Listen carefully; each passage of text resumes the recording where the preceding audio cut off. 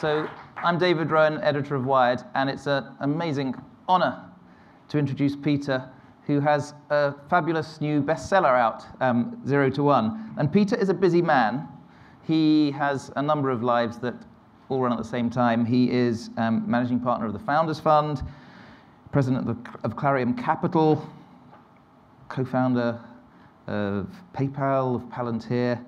Um, makes good investments like $500,000 for 10.2% of a new company called Facebook in 2004. And when he tweets, he only ever tweets once, he gets 60,000 followers pretty much straight away.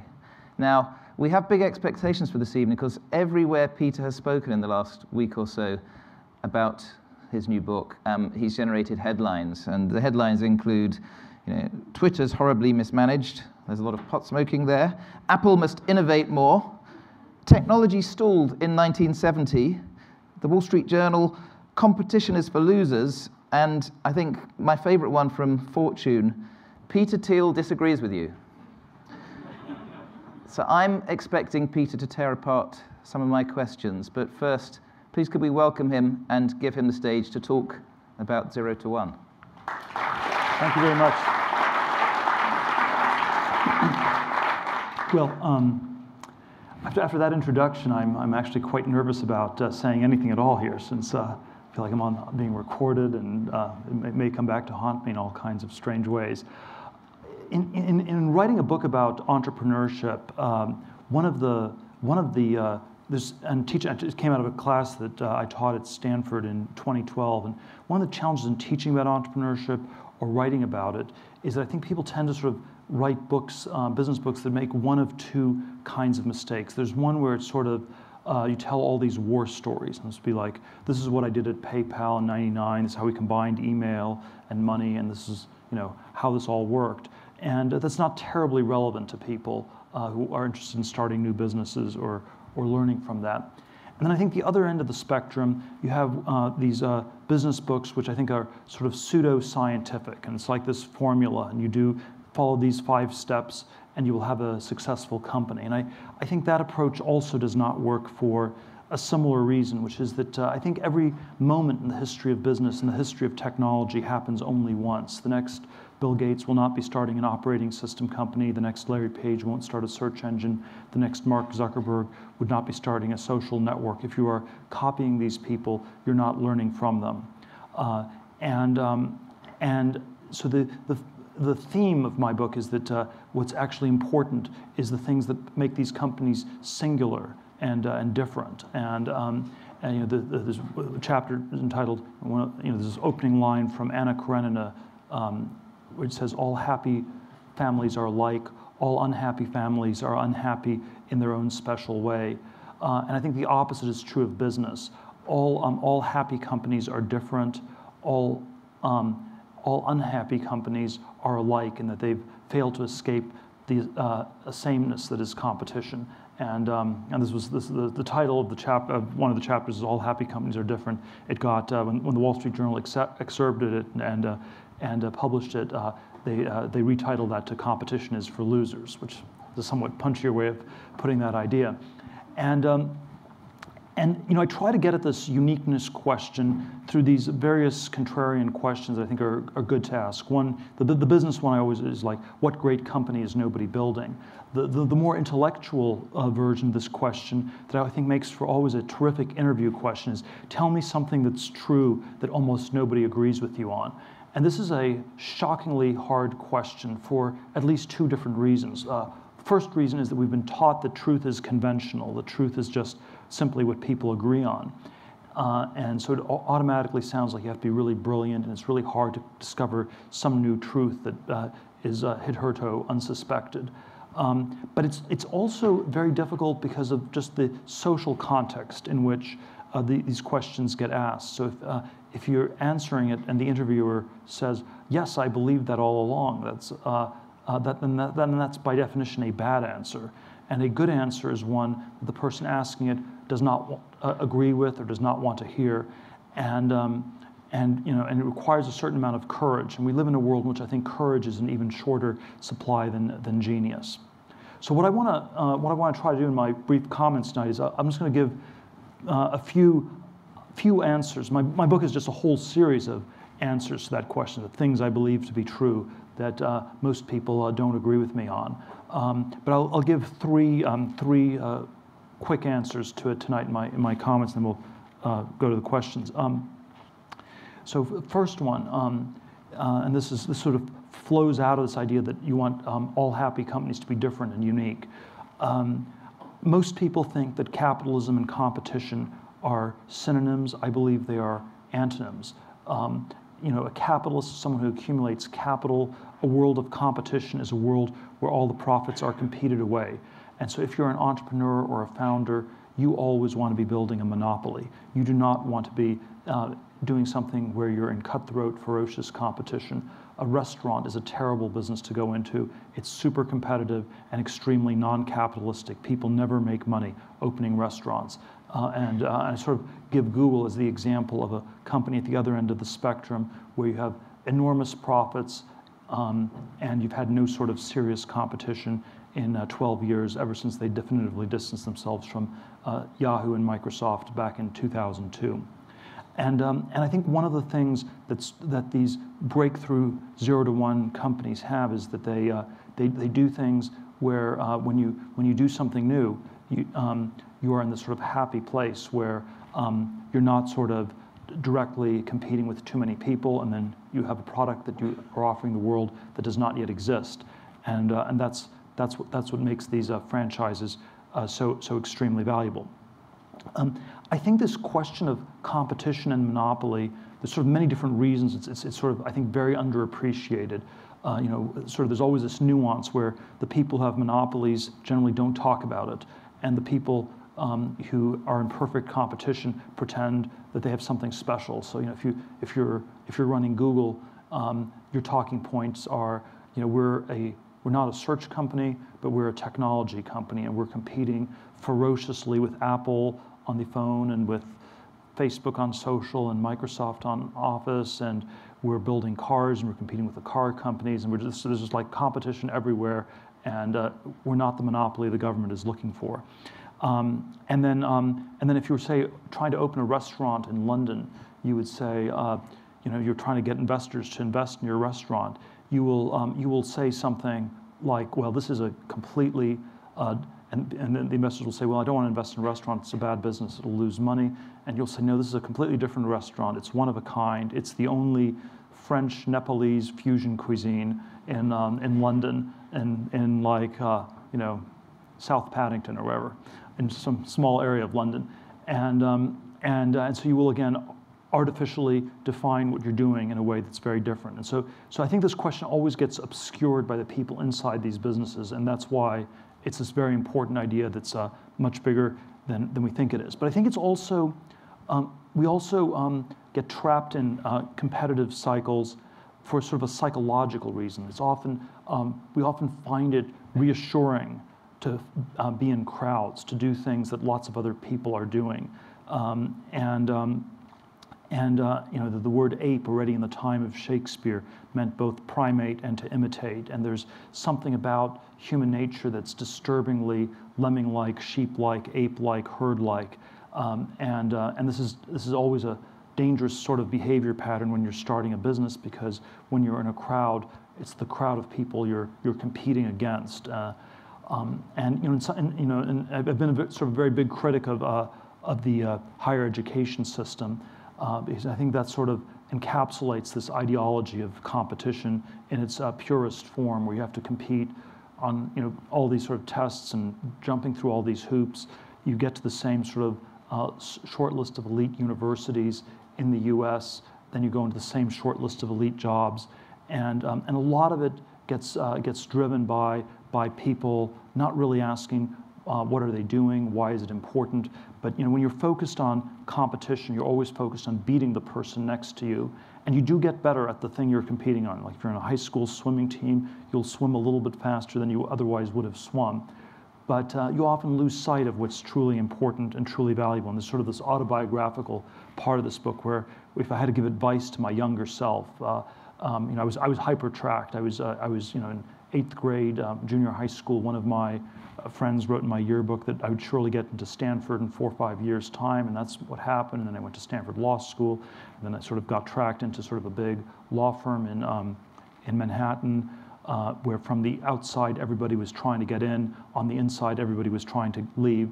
Um, and, um, you know, uh, after I, I, left after seven months and three days, uh, one of the, uh, one of the uh, one of the people uh, down, down the hall from me told me it was very reassuring to see me leave. He had no idea that it was possible to escape from Alcatraz, which um, was, of course, all he had to do was go out the front door. But, uh, but it was, uh, um, it was again, the, the, so much of people's identity was wrapped up in winning these various competitive dynamics that they could not uh, think about this. So if I gave advice to my, give advice to my younger self, it would be to you know, really think hard, why was I doing these things? Was I engaged in, um, was I doing these things because I genuinely wanted to do them?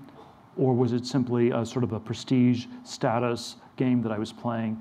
Uh, which, um, and I think if I was honest, uh, that there was way more of that going on. And there's, I think, a lot of that going on with a lot of us that we should always uh, think hard about, um, about doing less of. Second, uh, second contrarian idea I'll, I'll throw out is I think the sort of a conventional view is that there are um, that uh, that there are not that many answers left to this question. What's true that uh, nobody agrees with you on? We believe that all these truths have already been discovered in the past, um, and you know, and maybe there's still some things, but they're just about impossible to figure out. So there are conventions that we understand. There are mysteries that nobody can figure out. Um, but I, I, by contrast, think there still are a lot of things left on intermediate level. There are a lot of things that I call secrets, which are truths that are hard but possible to, to discover. Um, and, um, and I, think, I think there is always a secret at the core of every great business. There's some, um, some sort of research program that, uh, or some, uh, some area that, that people are really, really focused on, they think about really hard, and it sort of advances um, their thinking to the point where they get an understanding about something that other people do not yet have. You know, at PayPal, we were very interested in uh, um, um, um, sort of the cryptocurrencies and um, uh, encryption technology and currencies, and could they be intersected? Could you build a new digital currency? This was a question that you know animated us tremendously. We, we didn't quite succeed in building one at PayPal, even though we had T-shirts that said that we're going to be the new world currency. We didn't quite succeed in that in that goal, but uh, but that sort of a in-depth, substantive focus actually did help us think really hard about how do you architect a new payment system, how do you do certain things differently, and it, it, it, was, was a key part of inspiring us. And I think there are sort of many secrets left, and this is something, um, this is something we generally do not understand. And it's, it's, it's not obvious where one should look. You know, if, you're, if you were living in the 17th or 18th century, you could look at a map and there were empty spaces left on the map, and you could become an explorer and go and discover those places. So there was sort of a natural geographical sense in which there were secrets left. Or um, in the 19th century, uh, there were still you know, places in the periodic table of elements that were empty, and you could sort of do some basic chemistry and find some secrets. And, and there's sort of a sense that maybe geography or chemistry are fields that are you know, basic chemistry and geography are sort of fields that are closed. But I think most fields are not like that. I think most fields are still ones where there's tremendous amount of innovation possible. Uh, certainly this is true in, um, in the uh, computer field where we've seen uh, massive innovation in, in recent decades in the world of bits, computers, internet, mobile internet, that whole ensemble. Um, I think we've seen less innovation in the world of atoms, um, uh, you know, transportation, um, energy, clean energy, biomedical, biotech, um, space travel, all the kinds of things people thought about in the 50s and 60s. But I think it's, um, I think it's not because there's some law of nature that it's hard to innovate or impossible to innovate in these areas. It's just that there's sort of been this cultural change where we haven't tried as much. And, and we, you know, it's, it's, it's sort of, there's, there's a lot of this has a self-fulfilling character. If you, if you think that you can't find a secret, then you're not going to try and you will not look and you will not be a person who ever finds one. And, uh, and, uh, and, and, uh, and so failure, pessimism can have a self-fulfilling character as uh, conversely, if you think there's a lot to be discovered, um, progress can accelerate and more, more things can happen. So second sort of uh, contrarian truth that I believe to be true is that there actually are many secrets left to be discovered. Third, um, third, uh, third idea, and this one's maybe a little bit bigger picture. I, I think that uh, in a uh, successful 21st century, this century is going to be a, a, a, great and peaceful century. I think there are two big trends that have to continue. There's a trend of globalization and a trend of technology. And I think it's always important to think of these two things as very different. Globalization involves copying things that work, horizontal growth, extensive progress going from one to n.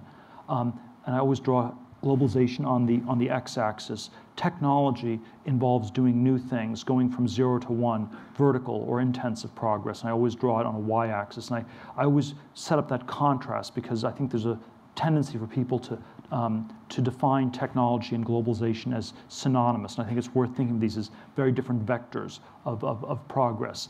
We, um, um the, uh, the, uh, and if we sort of think about the last 200 years, there have been many periods where we've had one or the other or both, which again underscores how they're different. The 19th century, you had tremendous amounts of both globalization and technological progress. You had both in the 19th century.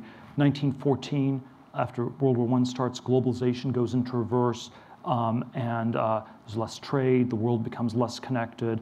You know, Iron Curtain goes down. Parts of the world more or less are completely cut off. And it doesn't really resume till uh, Kissinger goes to China in 1971. And we've had the last four decades have been ferocious globalization. Technology has been, we had a lot of progress 1914 to 71. Since 71, I would argue it's been more limited and, um, and uh, with a stress on, on, the, on the computer side. And so we've had an era of globalization without technology and um, sorry, uh, technology without globalization and then globalization without technology that's characterized the last hundred years in, in contrast to the century that came before. Um, it's the sort of shift uh, from the 50s and 60s today is, is in, in, in, the way we talk about the world. In the 50s or 60s, you would have said that the world was divided into the first world and the third world. The first world was the place where accelerating change was happening. The third world was the place that was sort of permanently screwed up and broken. Today we speak of the developing and the developed world. The developing world is that part of the world that will copy the developed world, and, um, and it's sort of this convergence theory of globalization. China is the epitome of it. It has a very straightforward plan for the next 20 years. It's just going to copy everything that works in the West. It'll skip a few steps, but it has a very straightforward uh, plan uh, ahead of it.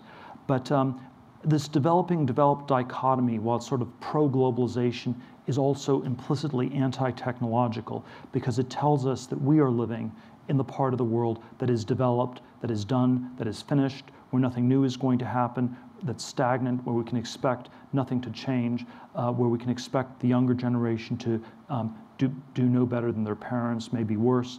Um, and, um, and I think this is a conception of our world that we should resist very strongly. Uh, and, um, and I think we should not even accept the idea that we're living in the developed world, that we're living in some sort of end of technology era. Um, and so I think we should um, always return to this question how do we go about developing the developed world? Thank you very much.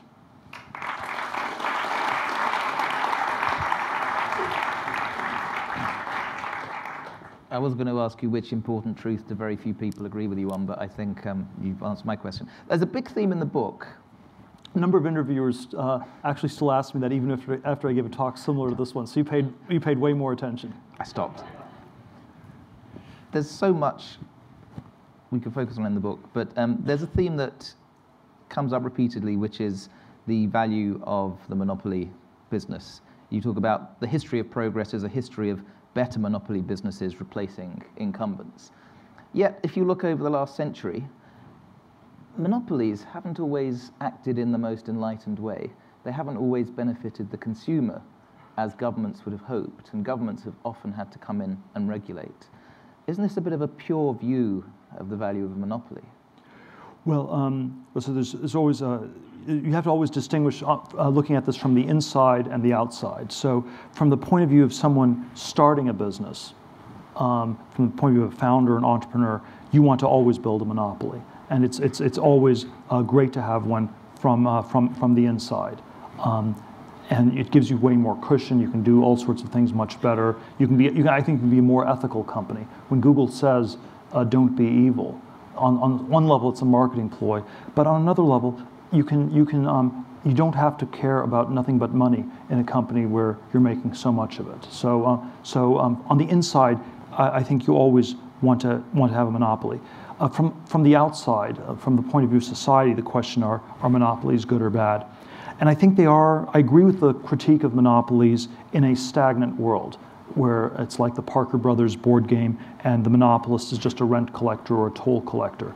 Um, but I think that if, if you have a dynamic world where people are inventing and creating new things, um, um, these are actually positive. So when Apple builds a smartphone that just works, it has a monopoly on the iPhone for many years, and I think it still has somewhat of a monopoly in, in various ways today.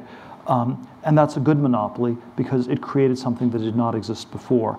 And the sort of the common sense way to differentiate good from bad monopolies, and lines are a little bit fuzzy, but the common sense way is just do consumers think it's a good thing or do they think it's a bad thing? So they might think the post office is a bad government structured monopoly, uh, whereas Apple uh, would, be, would be seen as a, as a good one.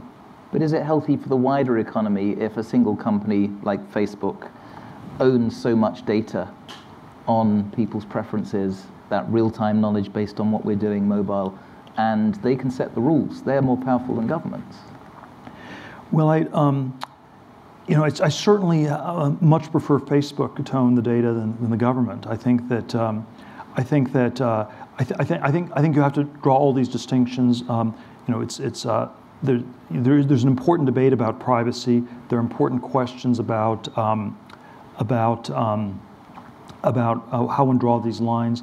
But I think the uh, you know the Facebook product has has created a lot of value in the world. It's made the world more connected. It's helped people stay in touch with their friends, um, and I think it's been a it's been an enormous net plus to, to people um, people all over the place. Um, you know, I think um, so. Yeah. Every startup in its pitch talks about it's going to come and disrupt a sector. Um, you say in the book that disruption is a self congratulatory buzzword for anything trendy and new. Uh, well, I, I certainly go after all these different uh, all these different uh, categories. Uh, I'm, I'm, always skeptical of anything that gets you know used uh, this much nonstop by people. So uh, you know the disruptive person in elementary school gets sent to the principal's office. Disruptors are people who look for trouble. They typically find it. Um, you know. Um, uh, um, Napster was a classically disruptive business that sought to take on the disrupt the music industry, um, and you know it's uh, had this disruptive name. You know, you, what do you what do you nap? You nap some music. You nap a kid. You know, it's, it's uh, and you, um, and um, and so there's always a sense where um, um, uh, disruption already starts by thinking of itself in competitive terms, where you're defining yourself against somebody and I, th- I think you don't want to take your bearings from breaking things, but rather from building things. So we have to go for an entirely new market. I, I think those are the, the best companies are ones that go for for uh, broadly uh, new markets. Uh, you know, it's, it's, certainly if you if you go after an existing market, that's where uh, that's where you're going to get the most ferocious resistance, the most intense competition. Um, you know, PayPal went after online payments. You know, Visa and Mastercard were not altogether happy because it was a new market they thought they perhaps should have owned. But, um, but it was not like we were taking away business directly from them. And in some ways, we were actually expanding the universe of payments that they enabled. And so at the end of the day, they didn't come after us nearly as much as they would have had we, say, tried to disrupt their business in some direct way. So, why didn't PayPal become the default payment mechanism? Why didn't PayPal become Bitcoin? Well, I think payment mechanisms and currencies are, are, are related but quite different uh, sorts of things. Um, so I think, yeah, uh, PayPal set out to build a new world currency. We did build a rather powerful internet payment system. Um, Bitcoin, I think at this point, is, is somewhat the opposite. Uh, it has actually created a new currency, at least on the level of speculation.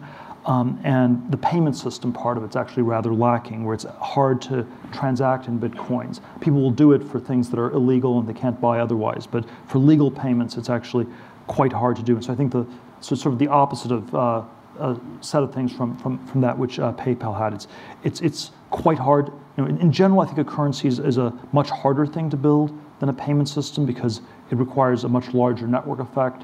You know, it's much harder uh, to buy into it. Um, you know, the, uh, you know, when I was, um, I don't even have, have it on me, but you know, the, the, the, prop that I would always use when I was uh, a CEO at PayPal was he'd hold up a hundred dollar bill in front of an audience, and it would be like hypnotic. Everybody would want it, and there's sort of this network effect to money. It's very difficult to create a new currency because you're competing with um, with an existing very large network already.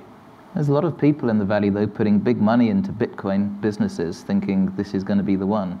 Are you not excited? I am. I am still a little bit more skeptical because they've not yet gotten the payment system part of it to work. But, uh, but I think that's the, you know, if you said what would make me more bullish on Bitcoin, it's if there were more, um, more legal payments happening on it. So when you meet entrepreneurs, what personal characteristics do you define in those that you think are going to be the big success stories? Well, I think, um, I think these, um, these uh, zero to one companies they're, they're generally not solo efforts. It's always a bit of a team effort of people working together. And so you, you, you know, you want a great business idea, you want a great technology, you want very talented people. But one of the very critical questions is how well do these people actually work uh, work together? And um, because I think I think the most common cause for failure is that the people just don't get along, and sort of blows up. Uh, it blows up internally, uh, way before it gets destroyed externally by by com external competition. So people internally don't get along. Um, the uh, and so a question I always like to ask is the prehistory question. You know, how did you meet?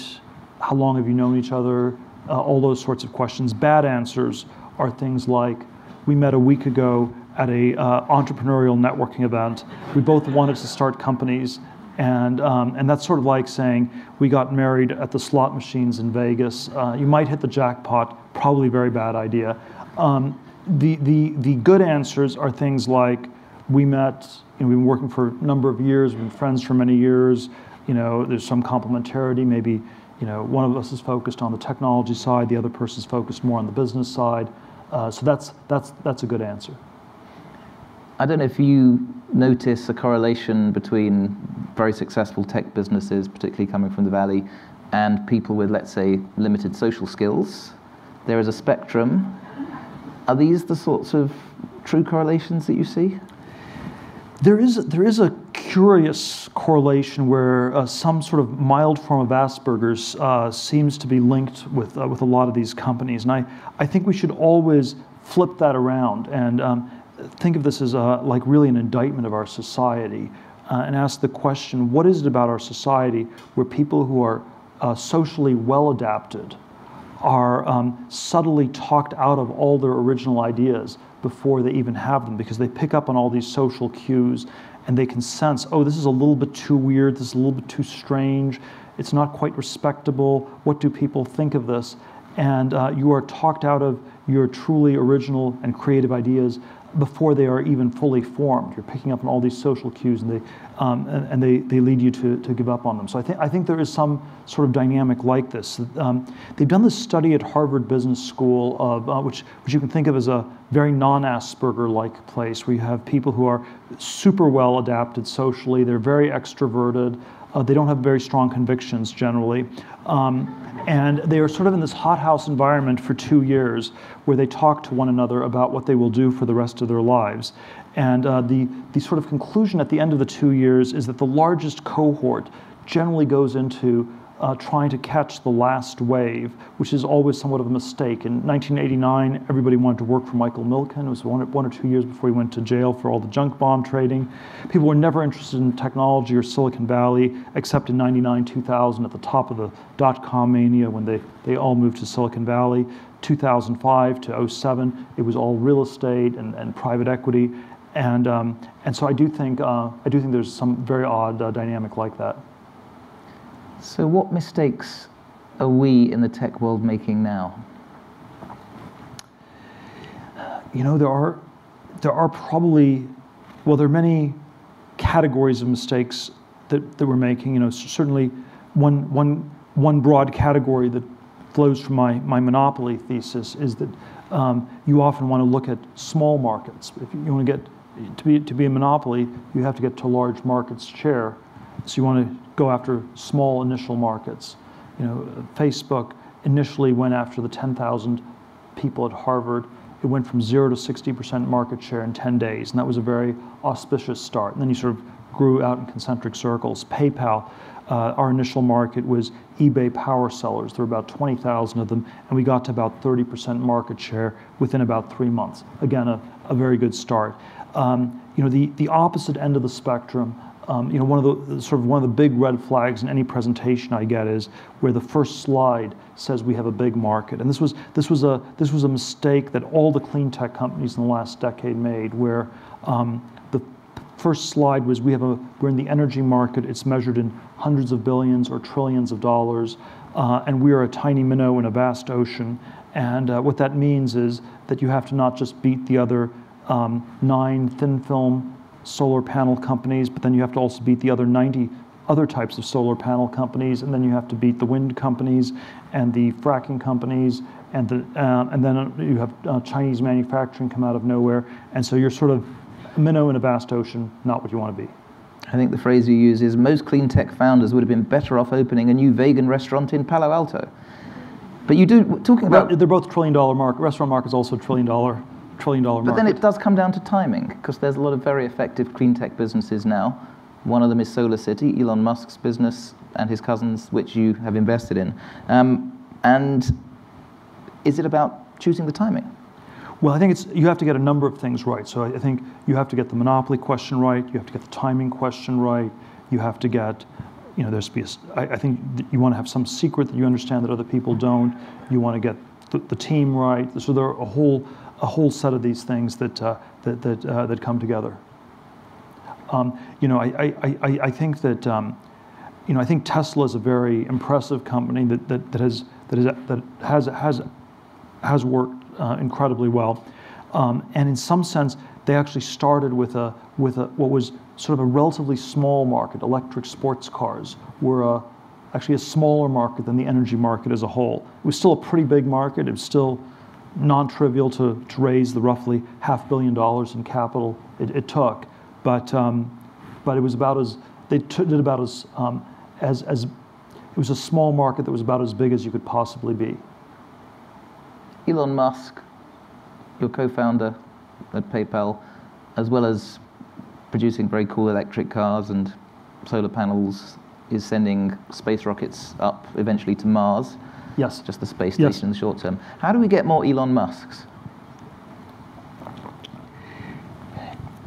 You know, it's it's um, I, I, I, you know, it's always I don't I don't know if there's a simple formula for this. We had um, um, it's uh, you know the, the PayPal business was actually quite successful in producing a series of these entrepreneurs. There have been uh, about uh, of the 220 people who were involved with uh, PayPal in um, 2002 in, in, Silicon Valley.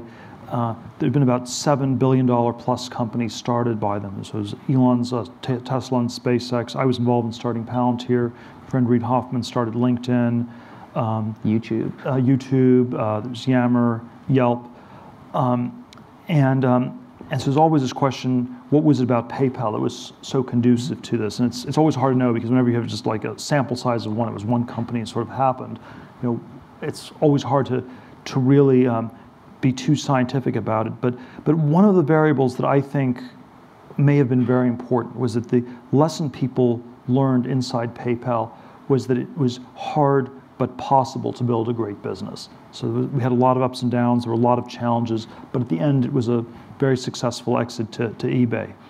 Um, I think the lesson people learn in most of the companies they're involved in is very different.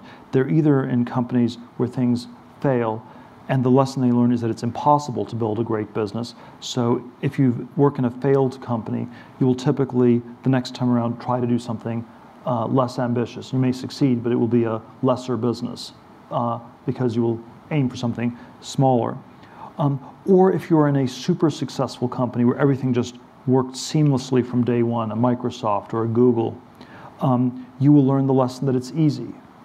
Um, and I think uh, to build a great business, which I think is just as toxic as the lesson that it's impossible. And so I think most people end up finding themselves in contexts where they learn that it's easy or impossible to build great businesses.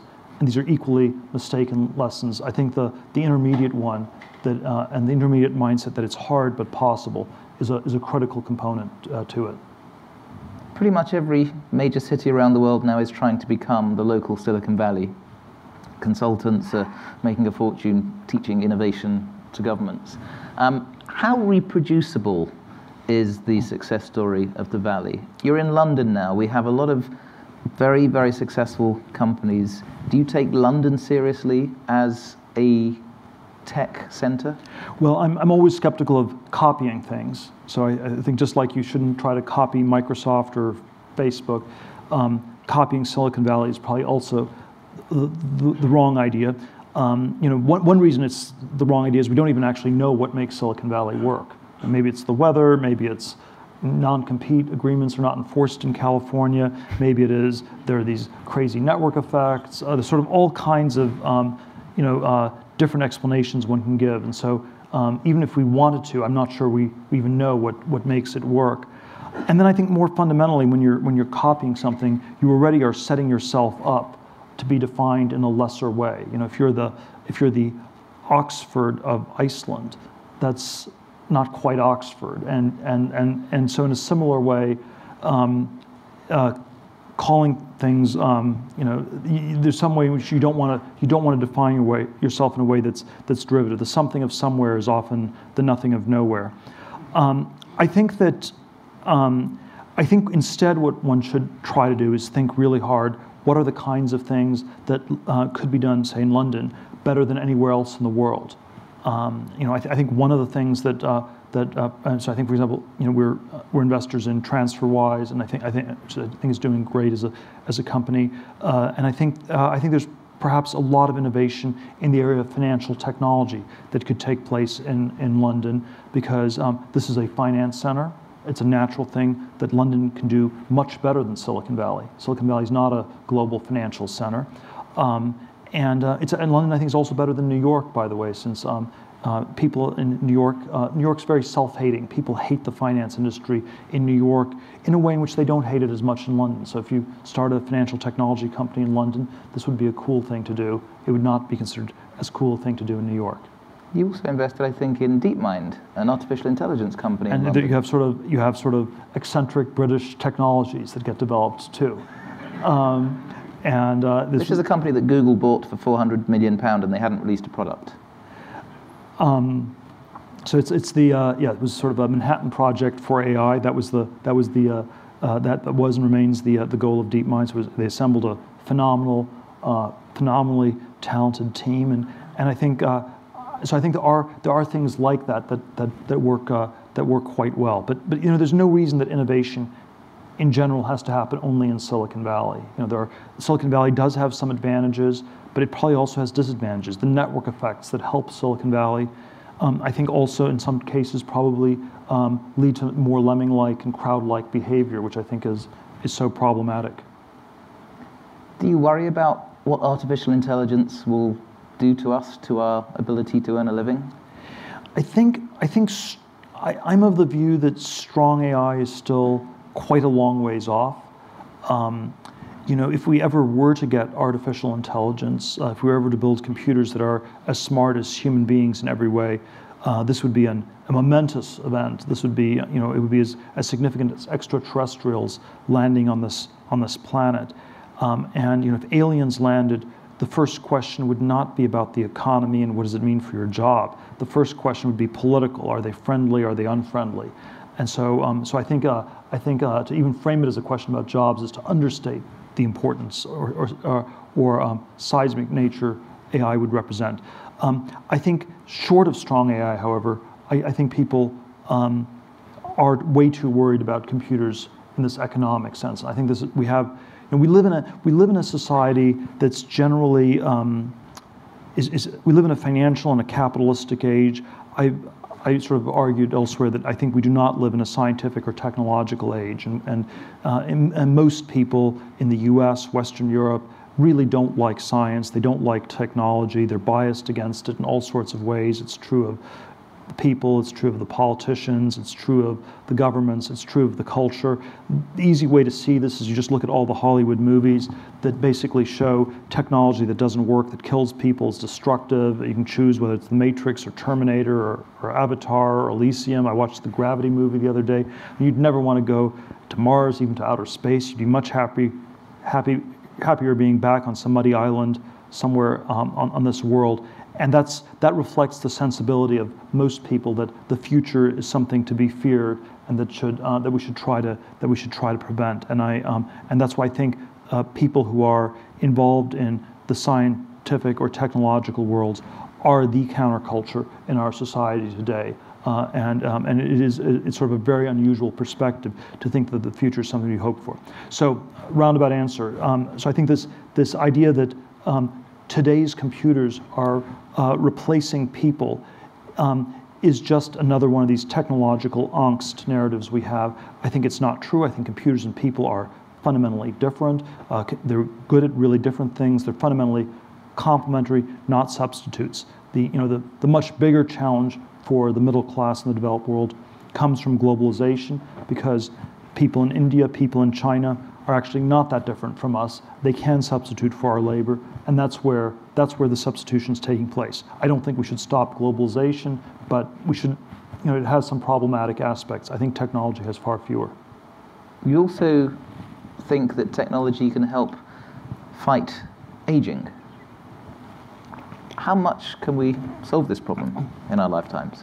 Well, we've, we've, made a, we've made a lot of progress over the last 150 years. You know, the, the maximum life expectancy in 1840 was 46 years among Swedish women. Today it's uh, something like 87, 88 years. Life expectancy has gone up by about two and a half years um, a decade. So every day that you survive, your life expectancy goes up by five or six hours. Um, I think that um, um, and so th- there's always been this debate between the, uh, you know, the mathematicians who sort of extrapolated these curves and the biologists who always argued that um, you, weren't, weren't going to make any more progress, you're about to hit the wall. Um, and I, I, would, I would tend to side with the mathematicians over the biologists, and I think, I think we, can do, we can do a lot more. Um, I, I, don't think we're going to solve, you know, um, we're going to find sort of a single magic pill that, um, that makes people live forever. I think it will be a lot of specific blocking and tackling, but I think, you know, I think we could make a lot of progress on cancer. I think there's no reason that we could not cure Alzheimer's or dementia. You know, one out of three people at age 85 has dementia. I think we could be doing a lot more, and it's, it's really, um, you know, it's always, again, I, I, think it's outrageous that our culture is so complacent about these things, and uh, again, I think there's room for um, a lot of progress in these areas. So when you hear of supporters of the singularity, people like Ray Kurzweil talking about being able to defeat aging, the body can live forever, what do you think? Well, I think I think it's you know I think this has been this has been a core um, animating idea of the entire modern scientific project. Uh, you know the uh, the search for uh, the water of life that the alchemists had was as great as for the thing that would transmute everything into gold. They, they were actually, the alchemists were more interested in living forever than in finding uh, the, the thing that substituted everything for gold. It was, you know, Francis Bacon, the New Atlantis. This is, this is the, whole, the whole project of, uh, of modern science. And so, uh, so, you know, it's, it's hard to know how much, you know, how much we can you know, change the world from a place where life is nasty, brutish, and short. But, um, but I think, uh, I think the, the moral thing is to, is to push it as far as we possibly can in the other direction. You know, I know there are all sorts of arguments on the other side. People say that you know, death is a natural part of life, uh, and I, to which I always respond that I think um, it is a, at least as natural for us to be fighting death. And, uh, and I think that you know, we have this modality where we uh, are either we either accept it or deny it. And so I think most people are sort of in the schizophrenic mode where they um, accept death and deny it at the same time. Um, and what acceptance and denial, however, have in common is they're both um, modes of thinking that stop you from doing anything. Mm-hmm. It's going to happen, or there's nothing you can do about it's not, it's not going to happen, or it's going to happen and there's nothing you can do about it. Both of those modes tell you that you shouldn't do anything. And I think we should uh, be spending more time fighting it. I'm quite upset that we're not having an argument, actually. I feel I'm missing out on the Peter Thiel experience. You're not shouting me down. Um, you're a man with I, I never shout people down. you're a man with political views. Um, you have strong views about education and other things. Let me just imagine with you that you're suddenly in the White House. It's not going to happen. Let's just imagine. I, I, What's on I, your I always list? Think thought, you- I always think fictional thought experiments are very treacherous things, though. But let's just say you But could does- change does it the mean I, rules. does it mean that I'm mayor of the United States? I'm kissing babies all day long, or what would does you it like mean that to I'm change? dictator? What would I be mean, top these are all. list? How far can we play this thought experiment? What would you want to change in how America is run? Well, you know, uh, my my my uh, you know my my single issue is that uh, we have to make more progress in science and technology, and uh, you know, I, I don't think the government can do that much on this because it's so hostile to these things. It reflects a population that's hostile. I think at best we can hope that the government um, gets out of the way of, of stopping this sort of progress. There was a time in the past when government was able to coordinate things and do things. I, I don't think we're living in that sort of a society anymore. You know, um, the U.S. was able to build a nuclear bomb in three and a half years in a project organized by the government, or you could put someone on the moon in the Apollo program in the 1960s. Um, these sorts of things would be utterly inconceivable today. You know, a letter from Einstein to the White House would get lost in the mailroom. And people say, you know, who is this crazy scientist who thinks you can do this, uh, this completely different sort of a thing? Um, and so I think, um, I think the, the, the, the best role for government in our, our world is, is, is somewhat more limited uh, because, you know, it's, I, I, was, I, did- I looked at this the other day. There are, you know, 535 congressmen and senators in the U.S., and by a generous count, maybe 35 of them have a background in science Wow. or engineering, um, and uh, the rest of them are like in the Middle Ages. They, you know, they don't know that solar panels don't work at night or windmills don't work when the wind is not blowing, and um, and so uh, and so I think we, we can't have that great a hope for how much innovation can happen from government if that's if that's how it's constituted. Now again, if we can change everybody in the government, that's then we're again playing with a very crazy thought experiment, though. Governments are trying to map the brain, though. Obama's got a big project. The Europeans have a big project. Look, there's, there's, there's a lot of funding that goes to various kinds of ideas, but um, the, the politicization of the funding, I think, has, uh, has often had this counterproductive effect. You know, in, in much of science, I, I, I worry that there's been a sort of Gresham's law at work where the people who are nimble in the art of writing grant applications to governments have replaced the uh, eccentric people who are the truly great scientists. And so the, uh, the, um, the eccentric university professor is a species that I think is going extinct very fast um, uh, because of the sort of Gresham's law dynamics. Yes, there's, there's a lot of money going to projects. The projects that get funded are consensus projects. The experiments that get done are experiments that everybody thinks will work. And experiments that everyone thinks will work are ones that I, I think rarely advance science at all. The interesting experiments are ones that no one thinks work and that actually end up working, but those, those are very hard to fund politically. So you've been back, backing a seasteading organization to try and create a new kind of nation. How's that going? Uh, that still has a long ways to go. Um, it is, it is, um, it is a, it's a small project I got involved in. It, it, it always generates enormous interest um, because I think, I think people do have a sense that the frontier is somewhat closed and there's something odd in that there's no longer a place you can go to in this world where you could start a new community or a new society.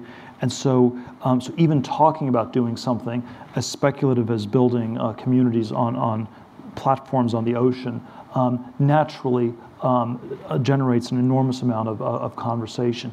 Uh, you know, I, th- I think I think it, you know, I think figuring out ways to reopen the frontier is is very important. It's not clear we can do it geographically because you know the land surface is fully covered.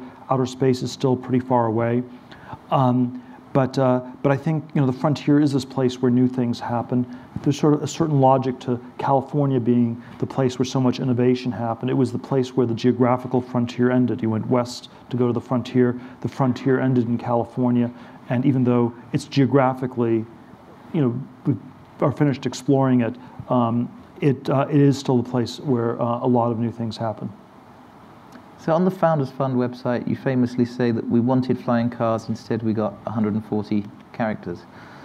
What have you got against Twitter? You have to always put this in some, some context. So I think that um, so it's it's uh, I, I think that Twitter is a has a great business model. Um, you know, it's it's uh, it's in some ways so such a good business model that um, and when you have a monopoly like Twitter has on on the service they, they built out, uh, you often don't have to run your business uh, in quite as operationally uh, tight a way as uh, you are, as you would if you were say opening a restaurant or something like that. So So I think uh, Twitter is a great business, but uh, there is always a sense that it's not enough to um, take our civilization to the next level. And this is always sort of the idea that we need to do things not just in the world of bits, we should also be trying to do more things in, in the world of atoms. The narratives we always tell in our, our media are ones of specific failure linked to general failure, uh, or specific success linked to general success. And so it would be Twitter is a great business, and therefore look at how much is happening in technology. Um, and I think we, we need to consider that uh, it's, it's a specific success that's perhaps obscuring a lot of general failures. You know, the, the, uh, the cell phones that, uh, um, that distract us from our surroundings also distract us from the fact that our surroundings are strangely old, that we live in these old cities where transportation systems are maybe from the 19th or early 20th century, where you know, a lot of stuff has not changed in a very long time. And so, so it's, it's sort of, so yes, I think Twitter itself is a great company. Um, it's not enough to take us to the next level. Now, I, I, I, now it's, it's always, this often gets framed as, you know, a critique of the Twitter founders. Why couldn't they have built something mm-hmm. like flying cars? And I think that's, that's very unfair because they did build a great company, and we shouldn't blame them. It, really, the blame is on all of us for not working on these other things. There is a startup in Slovakia that we just featured in Wired called AeroMobil that is making a flying car, by the way. What do you think when you see Uber valued at 17 billion and WhatsApp bought for 19 billion dollars and Snapchat worth somewhere above 10 billion dollars? What do you think about the, the valuations? Well, uh, there is sort of always this recurrent question whether we have a bubble in technology like we had in the in the late 90s. Uh, I tend to think that there is no bubble in, in tech because uh, these bubbles are psychosocial phenomena in which you get the entire public uh, involved. And, um, and the public has largely been absent this time around. The IPOs are happening very, very late. There are far fewer of them than there were in the late 90s. And so you do not have the sort of public frenzy around technology that you had in 99, uh, 2000. Uh, you know, if I had to identify a bubble today, we had a bubble in tech in the 90s, we had a housing finance one in the last decade. The, the obvious place where the bubble exists today is in uh, government, and it's in, you know, government's printing money. It's in, uh, it's in government bonds, probably, which is what, what governments are sort of buying up with all the money they're printing. And so I think that the place that our bubble, and you know, in some ways, the interest rates that are set by the government touch everything, but uh, the center of the bubble are probably things that are most like government bonds. It's government bonds, corporate bonds, maybe it's uh, parts of the housing market that are very linked to fixed income. Maybe it's uh, parts of the equity market that behave like fixed income. So it's stocks that pay high dividends, or it's uh, or it's these sort of value stocks where you have very predictable ca- cash flows. Um, whereas the tech stocks are primarily valued on growth, which is a very different variable. I personally have about three quarters of my net worth tied up in illiquid tech stocks in Silicon Valley and, and elsewhere. And um, I, I, actually think that it's one of the best places to hide from this massive government bubble that exists everywhere else. So I, I think there is a bubble. It's not in tech, it's in government. And I, I invest in tech in order to hide from the bubble in government. What is the one that you wish you'd invested in that you missed? Well, there always are. There always are um, many uh, misses uh, that one one has. Um, uh, but you know, I, th- I, think sort of the the misses that really that count as misses are ones where you spend some time talking to the company, you have a real conversation, you really think about it. So I missed out on, you know, the Series A round at YouTube. I missed out on the Series A round at Zynga. I had you know, lots of conversations with Mark Pincus and known him for many years and was very close to doing it. But far bigger miss than those two uh, was not doing the Series B round at, at Facebook. Um, and, um, and I think it's sort of very instructive, uh, sort of set of mistakes that happened. Um, you know, on the, on the, on the um, you know, we'd done this, I was the seed investor, did the Series A round um, August of 2004. Had sort of a post-money valuation of 5.6, 5.7 million and, and, Facebook was just growing very fast. Sort of eight months later, um, you know, they, they, sort of uh, got this financing round. The Washington Post was offering 50 million, and then you know Accel uh, venture fund Silicon Valley came in, much higher valuation at 85 million. Um, it was 12 times the price per share of the of the uh, of the first round, the middle dilution, but so with much higher valuation in just eight months. And uh, I had this, this conversation with uh, with Mark, and it was like, you know, why don't you do the, this whole round? Kind of like you, and I said, well, it's like gone up so much, and and it felt like we had really maximized the valuation. Um, and and and part of the psychology was that on the inside, it didn't feel like things had changed that much. You had this horrible graffiti art on the wall of the office. There were sort of, it was still only eight or nine people. So every day that you went to the office, uh, you, it actually felt like it was the same company you had been at the day before. Um, it was true there were these, uh, these uh, charts where things were moving in a very happy north northeasterly direction, but, um, but they were very, these were abstractions that people I think didn't fully, fully get in a way. And so, um, so, um, and so whenever you have these massive up rounds in companies led by, um, by smart investors, um, almost as a rule of thumb, uh, they are undervalued. And I've done this back testing on this where the steeper the up round, the greater the undervaluation. And it's because when these companies have momentum, people underestimate the momentum. They underestimate when things change, they underestimate how much things have changed. And it's not just true of the outside investors, it's also true of the people on the inside. You know, I, I course corrected on this in the Series C round in Facebook, which was at 525 million pre, just one year later, and so it was like 5x again. And, uh, and it was sort of this question: What did what had I done wrong? And and I think I think it was like, okay, this this makes no sense at all. This is a really crazy valuation, but I'm I'm going to still invest because um, there's something about the momentum that people are missing, and that that was that was actually a, um, a round that I'm very glad to have participated in. How did it work out? Well, uh, it, Facebook is worth more than 550 million, which is the post money on that round today. Just last question for me before I revoke my monopoly position and invite the room to ask some questions. What does Facebook become long term?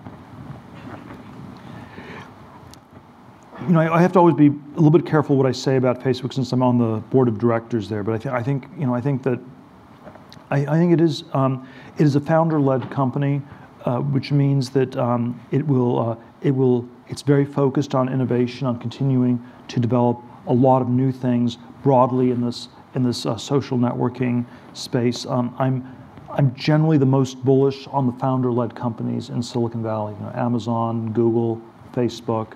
Uh, Jobs did a phenomenal job when he came back to Apple, and there is a certain amount of freedom that founders have that the um, politician slash CEO people that often get brought in to run these companies simply uh, do not have.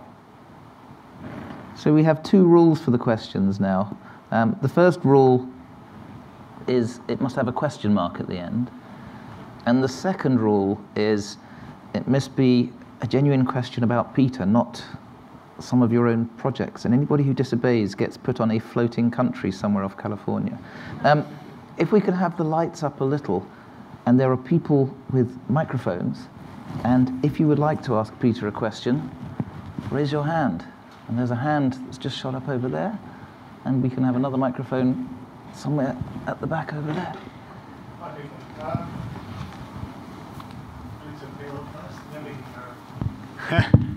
Cheers. Uh, I'm quite interested uh, because you obviously started speaking, and the book's mainly about zero to one, about making you know a completely new market in which to fill. I wanted to get your opinion on the kind of the business model behind Rocket Internet because, of course, they're the complete opposite of we just completely copy and imitate at speed. Well, I don't. I don't think it's a technology company. I mean, it's a it's a globalization play. It's it's about copying things that work and uh, and sort of um, um, copying them elsewhere in the world. Um, and so uh, it, it may work. Uh, it uh, it uh, you know it's uh, you have to. You there, I think there are some tough questions about how is Rocket different from Idealab, which was sort of had, had this incubation model that, that blew up famously in the late 90s.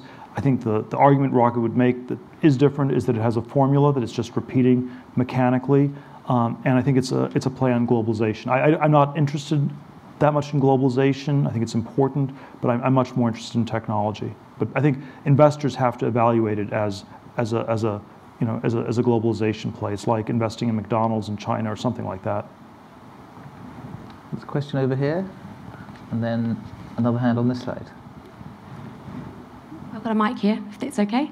My name's Katie, I'm from Nine Others, and thank you very much, Peter. I really appreciate your time speaking to us. I think we've all been inspired by your book and by your story. And what I'd like to know is what inspires you? Where do you go to to find inspiration from what you read or who you meet or places you visit and that sort of thing? Well, it's um, I'm always really bad at answering these sorts of personal questions, but, but I, th- I think it's, I, find tremendous inspiration from just uh, all the terrific people that I, I get to work with. Uh, you know, so there's something, there's a dynamism to that that's, uh, that's incredibly, uh, incredibly uh, motivating and inspiring. And, uh, you know, I, th- I, think there are all these ways in which one can be pessimistic about certain trends and certain things in our societies, but, but I, I, think there, there is sort of a very powerful anecdote in, in the sort of indomitability of the human spirit that is sort of a, an enormous part of the, of the tech scene in Silicon Valley and elsewhere.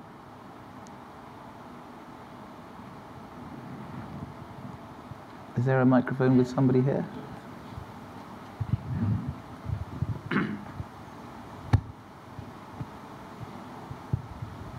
Hi, Peter. Uh, one question: Why you are so sure that the next innovation wave will be in the States if necessity is the mother of innovation, I think there is a very interesting story in Japan also. The flashing trap for 20 years, good infrastructure in robotics, Fukushima tragedy, geopolitical mm-hmm. problems. So, what about Japan? Well, I, th- I think Japan is is very interesting. There's there's definitely a logic I, I would look. I, I, generally think the place to look is the developed world because that's that's the place where people need to do new things. The, the developing world they can just copy stuff.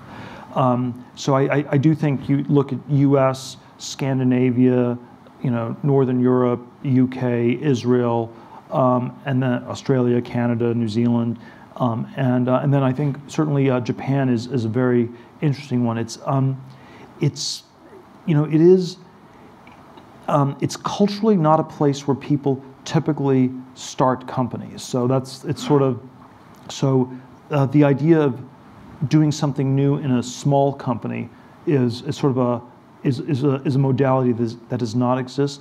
Um, so I think I think there may be a lot of innovation in Japan, but it may strangely happen in, in more in larger companies than in smaller companies. That, that, that, would be my guess. But I think I think it's very interesting, and it's uh, it's definitely um, it's still the third largest economy in the world, and it, it's weirdly uh, very off the radar. How much of your investing are you doing outside the U.S.? The, the bulk is the bulk is in the U.S. It's always you know it's always we it's it always ends up uh, there's always sort of some connection we have to the people where they come strongly recommended in one way or another. But we've, we've done you know we've done some things here in the UK. We've done a few things in the rest of Europe. We've done some things in Israel. We've done some things in Australia, New Zealand. So we've done some things all over. Does somebody have a microphone on this side? Um, I was going to say, you said that you know, albeit Asperger's is the key to innovation, and Facebook is taking all this data and curating a social experience, and it's it's almost rewarding people to kind of complete, continue to socialize. So how does that? They take all that data and make people innovate again. I mean, you've got a huge community listening to you, and you're kind of curating their social experience, but are you necessarily helping that population innovate for themselves? Um, and how do you sort of take their data forward and do something more exciting, like maybe what Google's doing, um, and continue to kind of innovate society rather than reward it for sort of gaming social psychology? Well, I, I um, you know, I, I, think I think there are sort of all these different different parts going on. I, I think I, I, certainly do think that um, that if you if you are constantly getting feedback on on your ideas and discouraged from having unconventional ideas, that, that is a big problem. I'm, I'm, not, I'm not convinced that that's fundamentally what happens on, on, on Facebook. But, uh, but it is, I think it's a problem that we have um, in society in, in general. Uh, and it's something that we all need to work on overcoming. Um, and it's, it's, it's very unfair to blame it on any single company, I would say. I, I don't think Facebook's doing it, but um, and it's unfair because I think this is this is a problem that's endemic to society. We live in society. We're sort of social beings on some level, and and so we we we always uh, take our cues from the people around us, and uh, often get talked out of our good ideas from the people around us. So this is a very deep problem. There's probably space for two more questions, and there was somebody over here.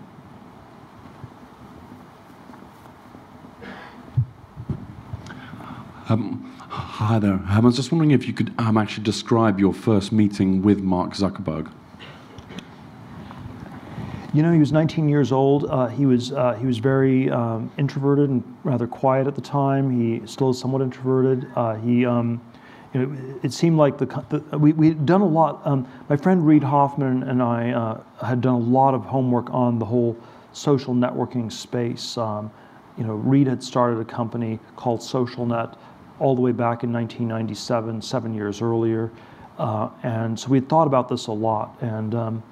And so it, it, actually didn't depend that much on what happened in the meeting at all. We were going to invest just about no matter what. So we had the meeting for an hour and then we wrote the check. But uh, we had, we'd done our homework uh, beforehand. Um, I, I, think the, the odd question about Facebook that's uh, very hard to get a handle on is uh, why nobody in Boston invested between February of 04 and August 04 when I met them in Silicon Valley.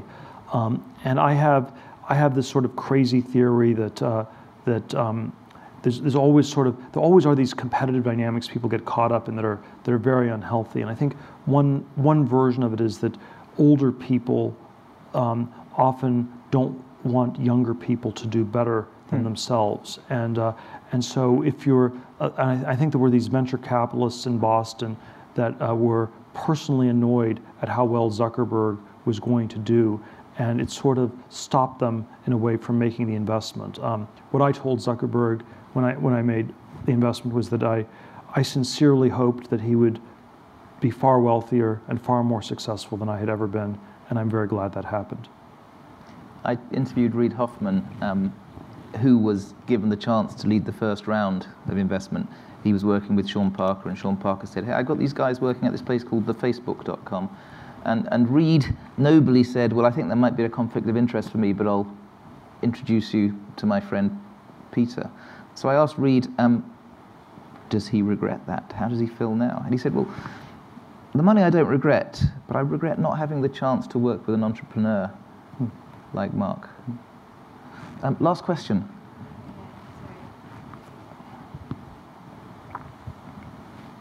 Peter, fascinated by your comments on education um, and uh, I loved, loved some of the points you made around um, secrets and uh, really, you know, how we're going to try and take civilization to the next level.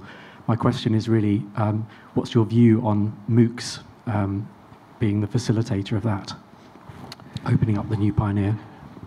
Um, so it's always it's always a little bit uh, tricky if one has uh, too many companies of a given category. So uh, you know, you don't want to be the fourth online pet food company or the tenth thin film solar panel company, uh, and and so I, I, I think there is this challenge of how are they differentiated from one another, what will what will really work, and so I always think that if we describe it at the level of MOOCs, we maybe haven't uh, de- defined the problem uh, properly. Um, but I, I, do think you know I do think we're at a point where uh, the universities are going to change uh, radically. It is a it is an extremely, um, you know, it's an extremely uh, corrupt system we have at this point. There's, we have an education bubble.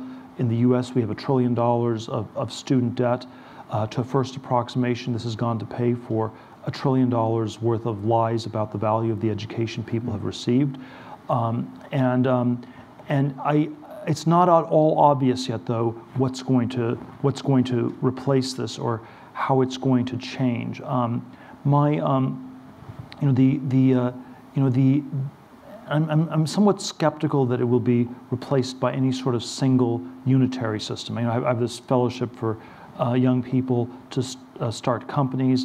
Um, and you know, it's not, my claim is not that everybody should do this. I don't think everyone should become an entrepreneur. And I think, I think there is no one size fits all. I think, so I think the future will be much more heterogeneous, much more diverse in terms of what people do.